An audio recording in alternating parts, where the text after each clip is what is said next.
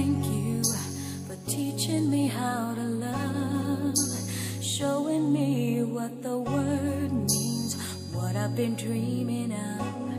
And now I know there is nothing that I could not do thanks to you for teaching me how to feel, showing me my emotions, letting me know what's real from what is not.